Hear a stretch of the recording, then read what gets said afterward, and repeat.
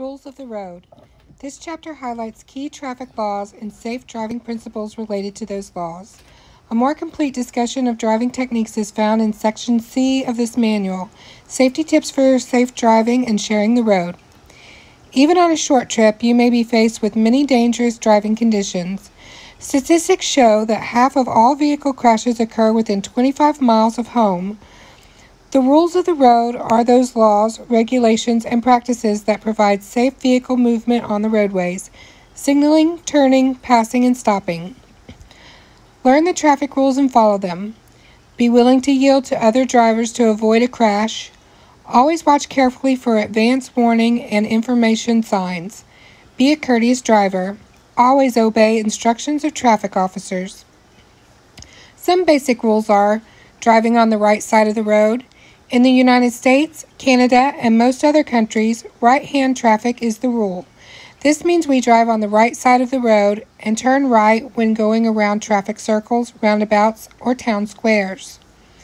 Obeying officers. You must obey traffic officers at all times. There will be times when an officer will instruct you to do something that ordinarily would be a violation of traffic regulations.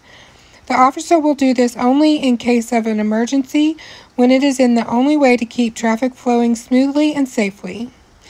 A common example a police officer holding up traffic at a green light and permitting a funeral procession to continue through a red light. Coasting prohibited. While traveling on a downgrade, never coast with the transmission of the vehicle in neutral. Also, drivers of manual transmission vehicles must not coast with the clutch depressed.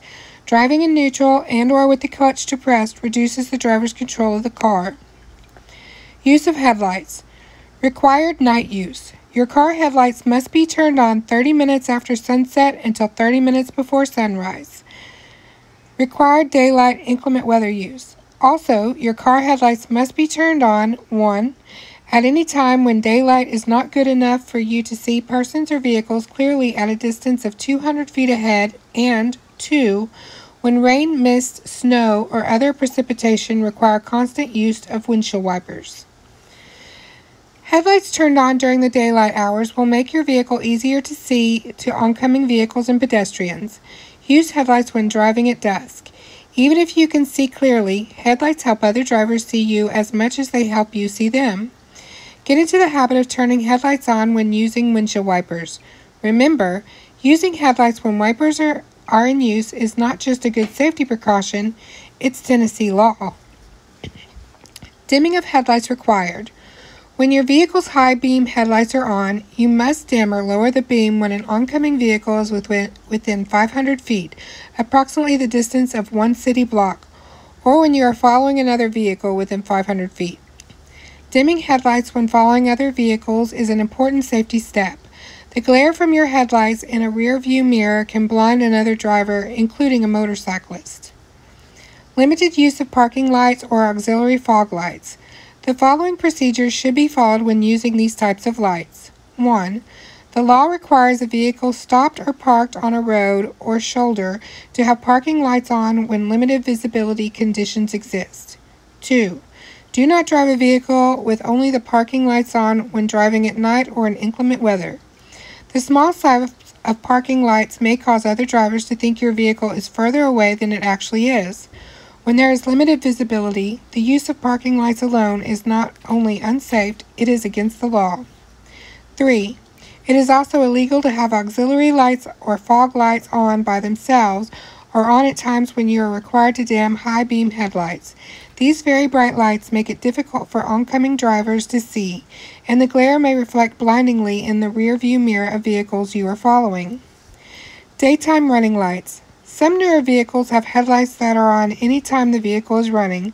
These lights make it easier for others to see the vehicle even in daylight. This reduces the likelihood of collisions. Effective January 1, 2018, no vehicle operated in Tennessee shall be equipped with any steady burning lights that display to the front of the vehicle in any color other than white or amber or in any combination of colors other than white and amber. There are exceptions for certain vehicles. Also effective January 1st, 2018, No vehicle operated in Tennessee shall be equipped with any flashing lights in any color or combination of colors that display to the front of the vehicle other than factory installed emergency flashers. There are exceptions for certain vehicles. Littering. Litter is an unsightly problem across the state of Tennessee, creating an eyesore for our scenic roads and highways. Throwing cigarette butts, food, snack, Tobacco products, papers, cans, bottles, or disposing of other material from vehicles are all forms of littering. Littering not only harms the environment we enjoy here in Tennessee, but also poses a potential traffic hazard and risk to you and your family. Tennessee law requires any motor vehicle transporting litter or any material likely to fall or be blown off onto the highway to be in an enclosed space or fully covered by a tarpaulin. Prevention of littering is a major saving of your tax dollar.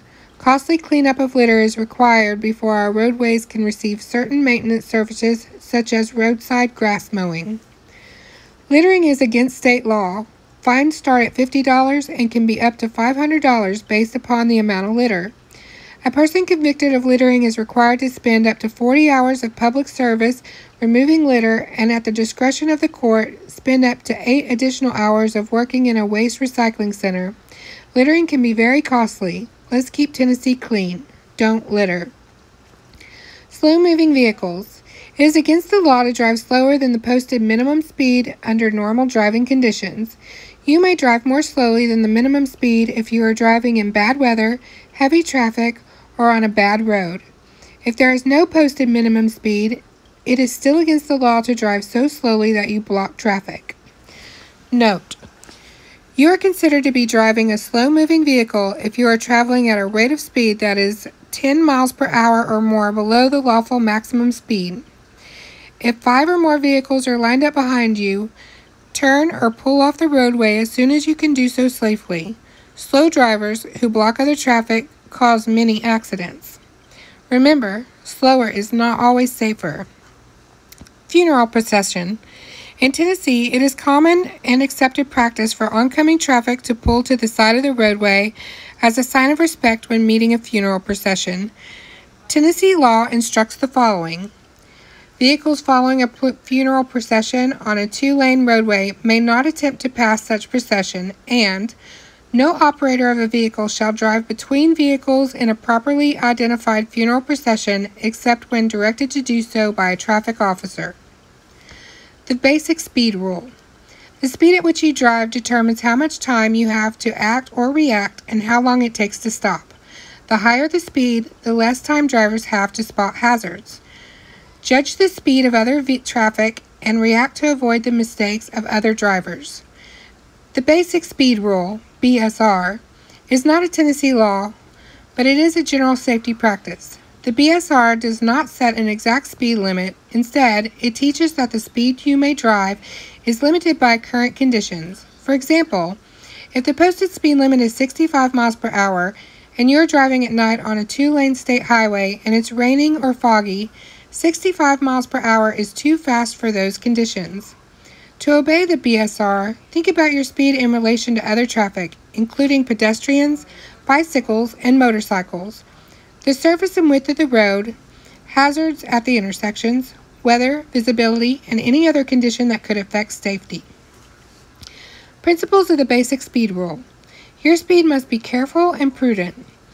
Use skill and good judgment. 2. Your speed must be reasonable and proper, not too fast and not too slow, for any conditions including amount of traffic, how many cars on the road, speed of traffic, how fast or slow it's moving, whether pedestrians are present, especially children in school zones or neighborhoods, surface of the road, rough or smooth, paved, gravel, etc. Width of the road, one lane, two lane, four lane. Structure of the road, straight, curving, bridges, narrow shoulders, etc. Visibility, how far ahead you can see clearly. Weather conditions, rain, snow, ice, fog, etc. Your own driving ability. 3. Do not drive so slowly that you block, hinder, or interfere with other vehicles moving at normal speeds. 4. Your speed must be adjusted to conditions so you can stop within a clear distance ahead. If you drive at a speed that is unsafe for existing conditions in any area, you are violating the basic rule. This applies even if you are driving slower than the posted speed or maximum limit. Example You are driving in line of downtown traffic and the car ahead of you stops suddenly. If you cannot stop in time to avoid hitting that car from behind, you are either breaking the BSR, even if you were driving within the posted speed limit, or you are following too closely. Tennessee speed laws. Speed is a major contributing factor that causes fatal accidents in Tennessee. Unless otherwise posted, the speed limit on primary and secondary state and federal highways is 55 miles per hour. When driving, adjust your speed to flow along with the speed at which other traffic is moving, provided the other traffic is traveling within the posted speed limit. Slow drivers are as likely to become involved in accidents as speeders. If most vehicles are traveling between 50 and 55 miles per hour, you are least likely to have an accident if you stay within that speed range. Interstate speed limits. The maximum speed set by Tennessee law for interstate highways is 70 miles per hour. This speed does not apply to all sections of the interstate highway system. It may be set as low as 55 miles per hour in some larger urban areas where there is more traffic congestion. The maximum limit should be driven only in the ideal driving conditions. You must reduce your speed when conditions require it. Example, reduce speed for 1. Curves 2. When the roadway is slippery during rain, snow, icy conditions or 3. When it is foggy and difficult to see clearly. Rural interstate limits 70 miles per hour is the speed posted on most of the rural sections of Tennessee interstate highways urban interstate limits. In the more congested urban or metropolitan areas of Tennessee interstates, the limit is typically 55 miles per hour. Note, it is unlawful for any person to drive a vehicle less than 55 miles per hour in the left lane most leftmost lane of any interstate highway unless traffic congestion and flow prevent safe driving at such speed. On the interstates, the minimum speed limit in the right lane is 45 miles per hour, and under normal driving conditions, all vehicles must travel at least this fast so they are not a hazard to other drivers. If the minimum posted speed limit is too fast for you, use another road. Watch for speed limit changes. The state, counties, and municipalities each have the authority to set speed limits for the roadways, highways under their control. Therefore, you could see some sections of interstate with some city limits set at 60 or 65 miles per hour. On the secondary streets and highways, these limits will change according to certain zones. Some residential roads or city streets may have limits as low as 25 or 35 miles per hour at all times. Watch carefully and obey speed limit signs in business, residential, and school zones. Speeding in school zones. Speed limits in all school zones are regulated when children are going to or from the school or during a school recess hour. Exceeding the school zone speed limit is by law considered to be reckless driving. The penalty includes an automatic six points added to your driving record, which automatically results in an advisory letter being sent to you. Speeding in highway work zones.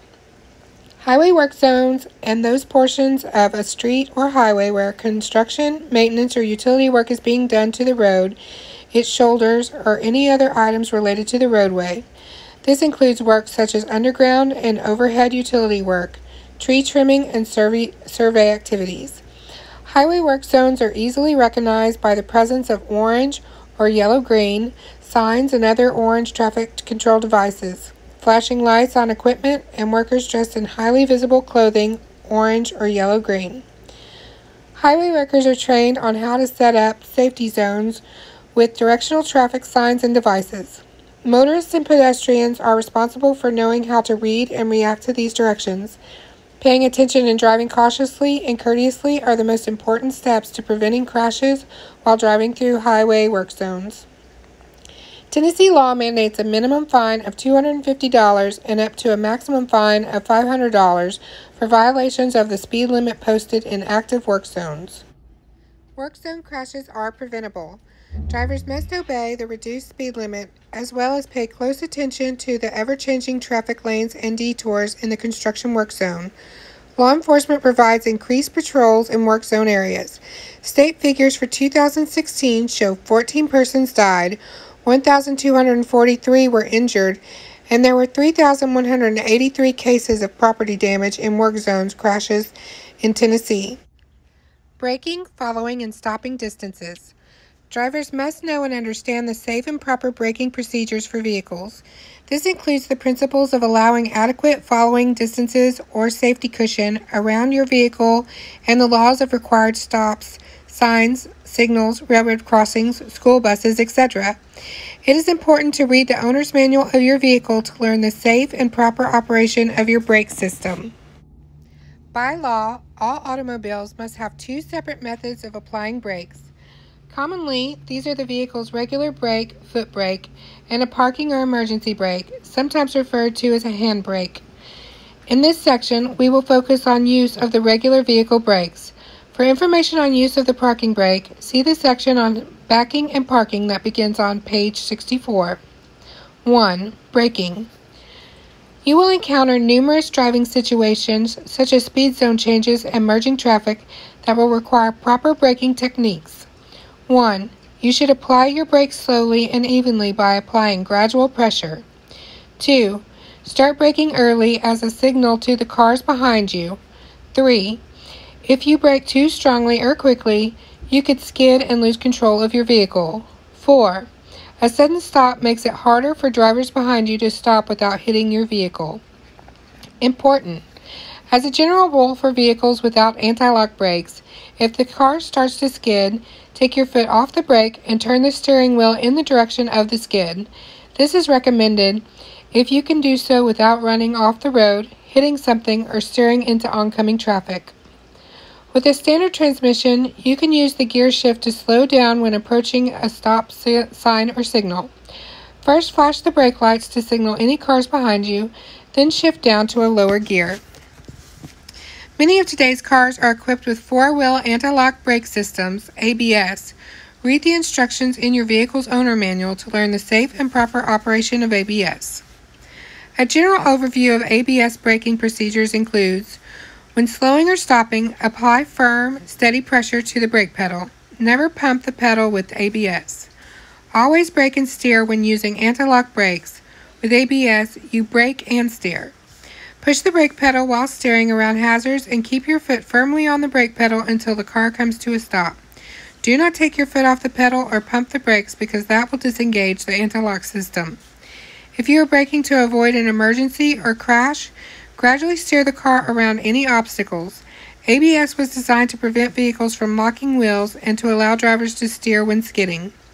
Expect noise and vibration in the brake pedal when your ABS is in use. These sensations tell you ABS is working.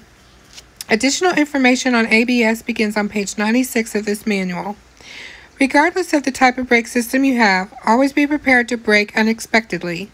There are some instances when drivers should especially be alert, including when driving next to parked cars, when approaching any type of intersection, when approaching traffic signals and crosswalks, when driving in a school zone or residential area, when seeing brake lights of other cars, when driving in heavy, slow moving traffic. Drivers should know the difference between covering the brake and riding the brake. In situations listed above, covering the brake means the driver's foot needs to hover over the brake or between the brake and gas pedals for quicker response time. Riding the brake is keeping your foot resting or slightly pressed down on the brake. This adds much wear and tear on the vehicle's brake system and also gives other drivers the false impression that a stop is imminent. Covering the brake is often smart and a safe driving practice. Riding the brake is not a safe practice. 2. Following distances. Obey speed limit laws and know the proper braking procedures that must be used for maintaining safe following distances between your car and other vehicles. Tennessee law states the driver of a motor vehicle shall not follow another vehicle more closely than is reasonable and prudent, having due regard for the speed of such vehicles and the traffic upon and the condition of the highways. When another driver makes a mistake, you need time to react. Give yourself this time by keeping a space cushion around your vehicle. This space cushion will give you room to brake and avoid hazards when needed. Good drivers keep this safe following distance or space cushion to have a better view of the road. The more space you allow between your car and the car ahead, the more time you will have to see and react to traffic hazards or crashes down the road. Many drivers don't see as well as they should because they follow too closely, tailgating. The vehicle ahead of them blocks their view of traffic and road conditions. Rear end crashes are very common, and most of these crashes are caused by drivers who are tailgating. The two second rule To share the road safely, stay a safe distance from the vehicle in front of you. Nationally, safety agencies and driver education programs have tried to define a safe following distance for drivers to maintain. This has ranged from a 2 to 4 second following distance. Use the following tips to determine if you are following too closely. A. As the car ahead of you passes a stationary point on the road, a signpost, driveway, utility pole, etc., count the seconds it takes you to reach the same spot. In the illustration below, you are driving the red vehicle. B. Count to yourself 1001, 1002, etc. You should not reach the same point on the road before you finish counting to at least 1002. If you do, you are following too closely. C. Slow down slightly to increase the space between you and the other vehicle. Find another spot to check your new following distance. Repeat this exercise until you are following no closer than 2 seconds. The principle will hold true at any speed on state and U.S. highways with moderate speed limits. However, during inclement weather, interstate highway driving at higher speeds, and night driving, the two second rule should be increased to allow for improved visibility. A minimum of four seconds should allow for better reaction time and a safer space cushion under these conditions, including following a motorcycle. 3. Stopping distances. Be alert and know when you will have to stop well ahead of time. Stopping suddenly is dangerous and usually indicates that a driver was not paying attention, was speeding, or was not allowing a safe following distance. Try to avoid panic stops by seeing events well in advance. By slowing down or changing lanes, you may not have to stop at all, and if you do, it can be a more gradual and safer stop. As a rule, it is best to never stop on the road unless necessary for safety or to obey a law, stop sign, etc. There are three steps to stopping a vehicle. Perception time the length of time it takes a driver to see and recognize a dangerous situation, reaction time, the time from perception of danger to the start of braking.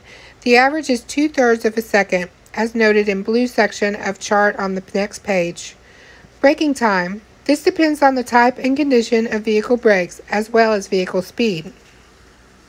Stopping distance can vary widely due to many factors. Type and condition of the road pavement, type and condition of vehicle tires and brakes, vehicle design and condition of the shock absorbers, vehicle weight when loading or towing. It takes longer to stop than most people realize. Suppose you're driving on the interstate at night at the maximum limit of 70 miles per hour. A deer suddenly appears in your headlights. Will you be able to stop in time? It will take 1.16 seconds for you to see the deer and move your foot to the brake. Before you even start to brake, you will have traveled 128 feet. If you're on a good road in good weather, the braking distance at 70 miles per hour will be 290 feet. Your total stopping distance has now reached 418 feet, nearly the length of one and a half football fields. The chart, top right, shows average stopping distances based on tests made by the Federal Highway Administration for vehicles under ideal conditions. Note, this chart does not include the distance you will travel in the half second of time required for perception of the hazard. According to the National Safety Council, a lightweight passenger car traveling at 50 miles per hour can stop in about 200 feet. The distance required to stop your vehicle is important in helping you choose a safe driving speed. These charts can be used as a rough guide, but your actual stopping distance will depend upon many factors specific to the situation you encounter. Stops required by law. Tennessee law states every driver approaching a stop sign shall stop before entering the nearest side of a crosswalk or stop at a clearly marked stop line. If neither is present, then 1. Stop at a point nearest the intersecting roadway where the driver has a view of approaching traffic on the intersecting roadway, and 2. Stop before entering the actual intersection. Tennessee Code defines stop as complete cessation of movement. You're responsible for knowing the proper stopping procedures required by this law. As stop signs and right turn on red intersections come to a complete stop, not a rolling stop, and go only when traffic is clear, approaching traffic should not have to slow down or change lanes for your vehicle. You should come to a full and complete stop at the stop sign or traffic signal. Often, a wide white stop line will be painted on the pavement in line with the sign. You must stop your vehicle behind this line. If no pavement markings are present, stop when the front of your vehicle is even with the stop sign's placement on the roadside. If you cannot see whether the intersection is clear of crossing traffic, edge up slowly until traffic is clearly visible from both directions. If the intersection where the stop sign traffic signal is placed has a crosswalk for pedestrians marked on the pavement, you must stop before the front of your vehicle reaches the nearest white line marking the border of the crosswalk. If there are pedestrians in the crosswalk or about to enter the crosswalk, you must wait for them to cross before proceeding. Once the crosswalk is clear, you may slowly edge forward to check the traffic before crossing the intersection or entering the roadway. When stopping behind another vehicle already stopped at the intersection, make sure you allow adequate gap space between the vehicles so you are not tailgating. A basic rule of thumb is that you should be able to see the license plate and or the other vehicle's back tire where it meets the pavement. This gap provides a safety zone in the event that the other vehicle rolls back slightly or stalls. If the vehicle stalls, you would still be able to maneuver around it safely. The gap provides a way out in the event of an emergency, such as another vehicle approaching from behind so fast that you may need to move to avoid a rear end collision. Once the vehicle in front of you has moved on through the intersection, you may move forward to the stop line. Remember, you still must bring your vehicle to a full stop at the stop line. A complete stop is required at a flashing red traffic light, just as with a stop sign. After you have stopped, if there is no traffic from the right or left, you may proceed. When there is traffic on the crossroad, right to left, and or oncoming traffic heading toward you, from the other side of the intersection, you must follow the right-of-way procedures. Right-of-way rules are discussed in depth later in this chapter. You must stop completely when directed to stop by a flag person at a road construction site or by a police officer directing you to stop in any situation. Rolling stops. Rolling stops are dangerous and illegal. A rolling stop occurs when the driver only slows down for a stop sign or traffic signal and proceeds through the intersection or turn without bringing the vehicle to a full and complete stop. A complete stop is required by law. Most law enforcement officers and driver education instructors agree that a vehicle has not come to a complete stop until the driver feels the car lurch forward after all motion is ceased. Rolling stops are grounds for receiving a traffic ticket and for failing the driver's examination road test. The following are reasons to avoid rolling stops. A driver may not see a child or other pedestrian who may think the car will follow the law and come to a complete stop. There is a better chance of seeing possible hazards because the driver who comes to a full stop has a longer observation period at the intersection. If two drivers are traveling at right angles to one another and both fail to stop, a collision is almost a certainty. Police and insurance companies will hold the driver who fails to stop completely liable in the event of a crash, possibly resulting in fines, loss of license, increased insurance rates, or loss of insurance coverage. Stopping for railroad crossings. Railroad crossings have pavement markings that include a large crossbuck X, the letters RR, a no passing zone stripe, and a stop line. Railroad crossing collisions should not happen. When they do, it usually means drivers are not paying attention to signs, pavement markings, and other warnings that tell when a train is coming. Stop, look, listen, look again. Every motor vehicle should be driven at the rate of speed that will permit the vehicle to be stopped before reaching the nearest rail of a railroad crossing. The vehicle should not be driven over the crossing until all railroad tracks are completely clear of train traffic. Violations of railroad signals, or signs carry the same penalties as violations of other traffic control devices. When you approach a railroad crossing and a train is coming, you must stop between 15 and 50 feet from the railroad tracks. Wait until the train is passed and it is safe to cross before proceeding across the tracks.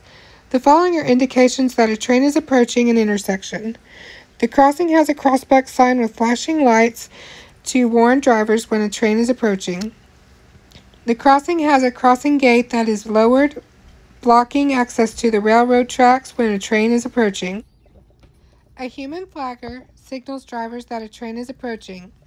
Trains are required to signal a horn when they are approximately 1,500 feet from passing through a railroad crossing. Never drive across a railroad crossing when any of the above indications of an approaching train are present. Trains move very quickly. Trying to beat a train is extremely dangerous for the vehicle driver as well as people on the train. Tennessee law requires certain vehicles to stop at all railroad grade highway crossings, whether or not any signs or signals are activated when the vehicle approaches the crossing. As a driver, you must be aware of this requirement so you will be prepared to meet or follow these vehicles when they have to stop at the crossing. The vehicles listed below are required by law to stop before crossing any railroad grade crossing. Church or school buses, regardless of whether such buses are carrying any passengers at the time of crossing. Common carriers, such as taxis or other vehicles transporting passengers for hire. Vehicles transporting flammables, explosives, or other dangerous articles as cargo or part of a cargo. Buses at a railroad crossing will pull to the right. The side movement of the vehicle, along with its stoplights, is a very clear signal, day or night, that a vehicle is preparing to stop. You must be alert to this type of movement by buses.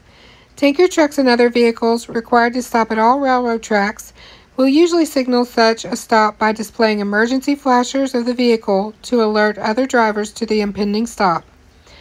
The school bus stop law, meaning a school bus. Any driver meeting a school bus or church bus on which the red stop warning signal lights are flashing should reduce his speed and bring the vehicle to a complete stop while the bus stop signal arm is extended. The vehicle must remain stopped until the stop arm is pulled back and the bus resumes motion. Overtaking a school bus. Any driver approaching a school bus or church bus from the rear shall not pass the bus when red stop warning signal lights are flashing. The vehicle must come to a complete stop when the bus is stopped. The vehicle must remain stopped until the stop arm is pulled back and the bus resumes motion. School bus warning lights. It is illegal to pass a school bus that has stopped to load or unload students. Never pass on the right side of the bus as children enter or exit. This is illegal and can have tragic results. You must stop and remain stopped until the bus has started moving or the bus driver motions for you to proceed or the visual signals are no longer activated such as the red flashing lights go off and, on, and or the stop arm is pulled back. Yellow flashing. When the yellow lights on the front of the back of the bus are flashing, the bus is preparing to stop to load or unload children. Motorists should slow down and prepare to stop their vehicles. A red flashing. When the red lights are flashing and the stop arm is extended, this indicates that the bus has stopped and that children are now getting on or off the bus. Motorists must stop their cars and wait until the red flashing lights are turned off. The stop arm is withdrawn and the bus begins moving before they start driving again. When a school bus is stopped at an intersection to load and unload children, drivers from all directions are required to stop until the bus resumes motion, as shown by the red vehicle in the diagram at the right. It is a Class A misdemeanor, and the driver can be fined between 250 and $1,000 for not stopping for a stopped school bus. When driving on a highway with separate roadways for traffic in opposite directions, divided by median space or a barrier not suitable for vehicle, vehicular traffic, the driver need not stop, but should proceed with caution. A turn lane in the middle of a four lane highway is not considered a barrier, but a fifth lane that is suitable for vehicular traffic. Drivers meeting a stopped school bus on this type of road would be required to stop in both directions.